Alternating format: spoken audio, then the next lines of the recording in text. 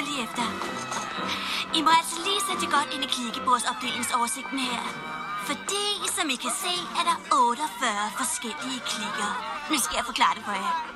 Der er goth-gruppen, skaterne og m funkfjonserne rapperosset, gangsterne, wannabe-gangsterne, lemmeslængerne, der er vilde med yoga, ikke at forveksle med økoerne, der hader alt, der ikke er lavet af planter. Og så der er nørderne og dem, der elsker at klæde sig ud som dinosaurer, og øhm, fodboldfyrene.